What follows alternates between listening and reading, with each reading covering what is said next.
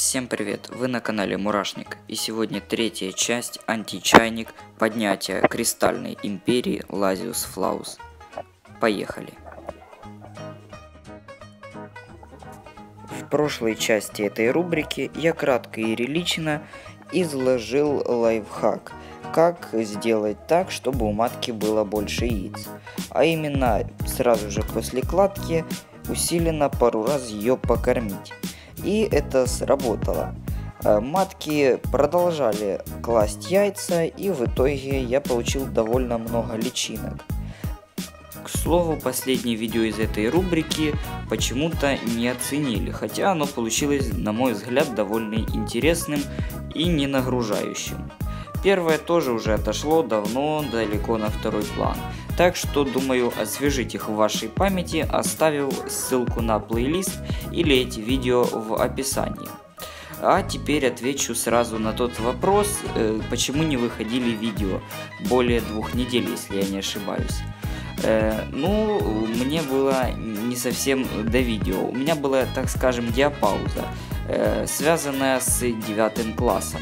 Я думаю, меня поймут все школьники и не осудят. Так что, э, в общем, когда я спустя неделю решил делать видео и записал материал, у меня также возникла проблема еще и с музыкой. Благо, мне все же помогли мои коллеги. Ну, а чтобы вы э, знали, что со мной происходит и не цапнули ли меня винатор или что еще со мной могло произойти, э, вы могли бы э, вступить в нашу группу в Телеграме. Ведь те, кто уже там, э, знают подробности и моей жизни, и моего канала, и некоторых других, э, спойлерить о чем я не буду. Кроме того, мы там общаемся на довольно интересные темы. Сейчас весьма актуальна тема зимовки муравьев и, конечно, конечно, там вам много чего подскажут по этому поводу. Не поленитесь, заходите с нами интересно. Но вернемся к моей кристальной империи. Э, в общем, выкормив матку, и после того, как она набросала яиц, по прошествию некоторого времени, наконец-то все же начали появляться первые личинки. В этот период матку нужно усиленно кормить, так как она тратит много своих питательных веществ на, собственно, выкармливание личинок. Поэтому их нужно восполнять. Э, бонусом к этому матка может вознаградить вас еще одним пакетом яиц. Думаю, мои матки не стали исключением, в общем, за расплодом я особо не слежу, его мне достаточно.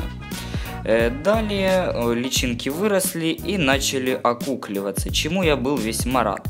Конечно, коконы были настолько крошечные, что даже близко не стоят с теми коконами нигеров, которые есть у меня сейчас.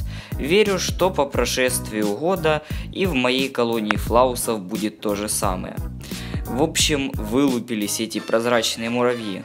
Когда однажды по привычке перед школой с утречка я достал этих муравьев и заглянул к ним и увидел первого прозрачно-желтого рабочего, я изумлел от восторга.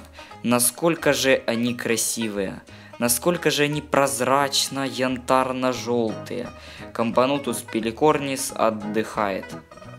Короткое описание первого поколения таково. Муравей чуть более э, с миллиметров в длину, э, практически прозрачного, э, медового желтого отлива, очень красивая, с укрупненной головой, э, довольно расторопные, но трусливые и э, неповоротливые относительно к их собратьям-нигерам. Э, зато их ротовой аппарат выделяется более красным цветом. На желтом фоне это очень хорошо заметно и очень красиво. Личинки, кстати, тоже довольно подвижные, даже подвижнее, чем у нигеров, на удивление. Ну что ж, красоты флаусом э, не занимать. Э, их отличие от нигеров это небольшой полиморфизм в виде супер рабочих, которые немного крупнее, чем обычные рабочие, ну а также немного более укрупненная голова. Кстати, э, подход к их кормлению тоже сильно отличается. Если нигерам нужен много белка, то более 90% рациона флаусов чистый сироп. Так как в природе они питаются почти полностью выделениями корневой тли, которую выращивают под землей. Охотники из них никудышнее, так что не пытайтесь закинуть к им знахаря, когда их будет всего штук 20. По мере роста колоний увеличится не только размер рабочих, но также изменится их окрас. Они больше не будут такими прозрачными. Они станут янтарно-желтого, переливающегося окраса, что как бы красиво, но с другой стороны все-таки жаль, что они не будут такими прозрачными. Но не забывайте, что покормив их хорошенько сиропом, они все равно раздуются и будут милашками и очень красивыми муравьями. На сегодня у меня все.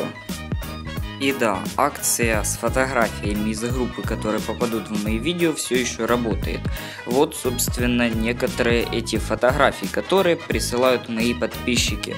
Поздравляю вас, мирмикиперы, неплохие колонии. Что ж, так что присоединяйтесь, ссылка на группу в описании.